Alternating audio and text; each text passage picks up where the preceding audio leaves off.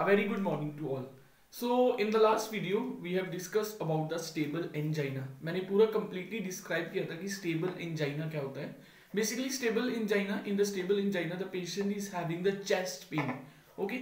And उसके पीछे का सबसे बड़ा रीजन क्या होता है जो हमारी कोरोनरी वेस्ट कोरोनरी आर्टरीज होती हैं वो हमारी हार्ट मसल्स को sufficient amount of blood supply नहीं कर पाती due to any of the reason and उसे हम स्टेबल इंजाइना क्यों बोलते थे? बिकॉज़ उसका सबसे बड़ा रीजन ये रहता था था कि हम, अगर हम कुछ एक्सरसाइज कर रहे हैं और अगर हम कोई फ़िज़िकल एक्सर्शन कर रहे हैं और if your in excessive stress तो उस केस में ब्लड ज़्यादा चाहिए रहता है, पर हमारी जो हार्ट मसल्स होती है, वो उतना ब्लड सप्लाई नहीं कर पाती।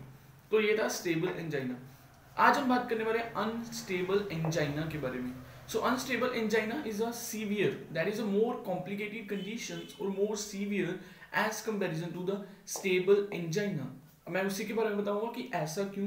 बिकॉज़ स्टेबल इंजाइना में मैंने जैसे बताया था कि जैसे आप फ़िज़िकल एक्सरसाइज से अब रेस्ट लेते हैं, जब अगर आपको कोई स्ट्रेस है, और अगर उस आप उस स्ट्रेस से बाहर निकल जाते हैं तो वो जो चेस्ट पेन हो रही होती है स्टेबल इंजाइना की वजह से वो रिकवर हो जाती है. But unstable angina is is a kind of a condition जिसमें आपको किसी भी टाइम चेस्ट पेन होना शुरू हो जाता है, चाहे आप कोई फ़िज़िकल एक्सरसाइज कर रहे हैं या नहीं कर रहे हैं वेरी माइनर से कोई फ़िज़िकल एक्सरसाइज कर रहे हैं, और इवन आपको चेस्ट पेन जो है वो काफ़ी रेस्ट पे भी स्टार्ट हो सकती है। अगर आप नॉर्मली रेस्ट कर रहे हैं तो आपको अचानक से चेस्ट पेन होना शुरू हो जाता है। So that is a that is a kind of a symptom और करेक्टराइजेशन ऑफ़ अनस्टेबल एंजाइना और स्टेबल एंजाइना में क्या रहता है कि जो चेस्ट पेन होती है, उसका जो नॉर्मल टाइम इंटरवल रहता है, वो टेन टू फिफ्टीन मिनट्स रहता है।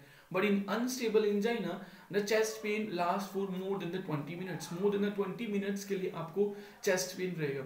Okay okay? उसके बाद बात करते हैं कि इन दोनों के रीजन के बीच में क्या डिफरेंस है. What is the exact reason behind the cause of the stable and unstable angina stable angina का सबसे बड़ा रीजन मैंने बताया था प्लेक फॉर्मेशन जब हमारी बॉडी में एक्सेसिव फैट एकमुलेट हो जाता है, जब हमारी बॉडी हम कैलेस्ट्रॉल का लेवल बढ़ जाता है, वो कैलेस्ट्रॉल का करता है, हमारी कोरोनरी आर्टरीज में एक प्लेक बना देता है, ठीक है? उस प्लेक की वजह से कोरोनरी आर्टरीज नैरो हो जाती हैं वो उतना ब्लड सप्लाई नहीं कर पाती। ये रीजन होता है स्टेबल एंजाइना का। अब अनस्टेबल एंजाइना का रीजन क्या होता है कि अगर वो प्लेक ब्रेक आउट हो जाए, अगर वो एथेरियोस्क्लेरोटिक प्लेक ब्रेक डाउन हो जाए और हमारी कोरोनरी आर्टरीज में ब्लड क्लोट का फॉर्मेशन हो जाता है जिससे ब्लड सप्लाई और भी कम हो जाती है।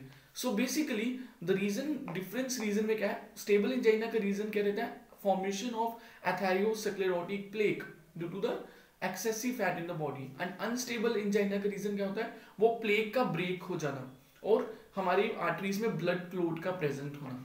So that is a more severe condition and अगर हम अगर हम उस ब्लड क्लोट को रिमूव नहीं करवाते हैं फ्रॉम द कोरोनरी आर्टरीज तो वेरी सीवियर ब्लॉकेज हो जाएगी और पेशेंट को हार्ट अटैक हार्ट अरिदमिया होने के चांसेस भी रहते हैं, जिसको बोलते हैं irregular heart beat so it is a very severe condition and अगर आपको अनस्टेबल एंजाइना इस तरह की चेस्ट पेन रेस्ट पे स्टार्ट हो रहा है तो immediately you should consult the doctor because अगर आप टाइम पे ट्रीट नहीं करवाएँगे तो मैंने जैसे बताया कि फ्यूचर में you can have the heart attack okay उसके बाद इसके जो सिम्टम्स होते हैं, वो same as that of stable angina but वही रहता है कि टाइम इंटरवल ज़्यादा रहता है, और ज़्यादा इंटेंसिटी से चेस्ट पेन होती है एनजाइटी भी हो सकती है फिटीगनेस हो सकता है पेशेंट को रेस्टलेसनेस फील हो सकता है so symptoms are quite similar as comparison to the stable angina उसके बाद रिस्क फैक्टर भी सेम रहते हैं कि अगर आप डायबिटीज़ से सफ़र कर रहे हैं, अगर आप ओबेसिटी से हैं, आपको इमोशनल स्ट्रेस ज़्यादा है ठीक है? इस तरह की the risk factors are same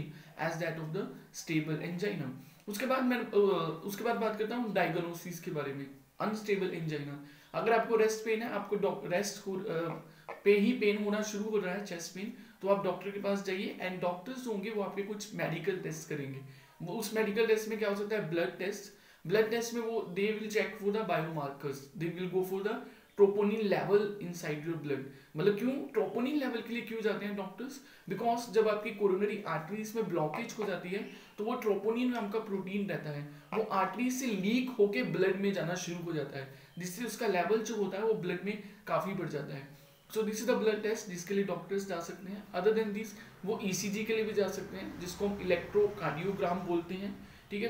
उस उससे हमें पता चल जाएगा कि हार्ट बीट में एरिथमिया हो रहा है या नहीं हो रहा। वो पता चल जाता है। सी ठीक है तो इस, उसके बाद they can also go for the coronary angioplasty angiography जिससे उन्हें ये पता चल जाएगा कि कोरोनरी आर्टरीज में ब्लॉकेज कितनी सीवियर है। ठीक है so this are the diagnosis of unstable angina so I think I think I am clear with my difference between the stable and unstable angina अगर मैं समराइज करूँ तो उनके बीच में क्या डिफरेंस है? स्टेबल एंजाइना में अगर आप फ़िज़िकल एक्सरसाइज कर रहे हो रेस्ट पे हो, तभी चेस्ट पेन स्टार्ट होगा। बट अनस्टेबल एंजाइना में आपको नॉर्मली भी अगर आप नॉर्मली रेस्ट पे बैठे हैं नॉर्मली कुछ भी ऐसा फ़िज़िकल एक्टिविटी नहीं कर रहे हैं उस समय भी वो स्टार्ट हो सकता है। एंड पेन की सीवियरिटी जो होती है वो अनस्टेबल एंजाइना में काफ़ी ज़्यादा होती है। और स्टेबल एंजाइना में क्या है कि उसका उतना रिस्क फैक्टर नहीं होता। हार्ट अटैक होने के इतने ज़्यादा चांसेस नहीं रहते हैं। बट अगर आप अनस्टेबल एंजाइना की बात करें so if in the future that can turn to the heart attack and cause में क्या डिफरेंस है? स्टेबल एंजाइना का कॉज क्या है? Just the formation of plaque in the coronary arteries and उसका रीजन क्या है? डिस्ट्रप्शन ऑफ़ दैट प्लैक उस प्लैक का ब्रेक हो जाना।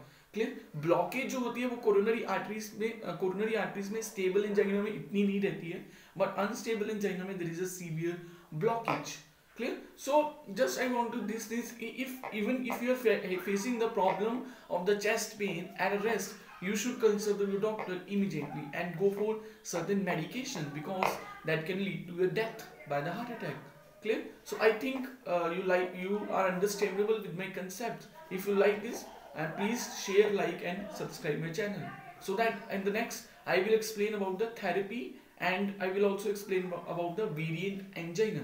Thank you so much.